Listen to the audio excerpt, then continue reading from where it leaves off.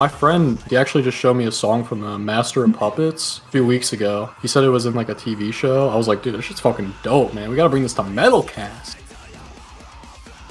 I think I haven't heard that, bro. A song on. that came out in like 1986. Oh, shit's so dope. I know you guys are into metal. You gotta check this out. I'm liking the the mix. Sounds kind of.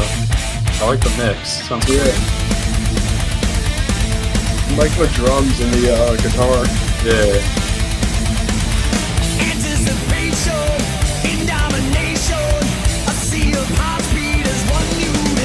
good.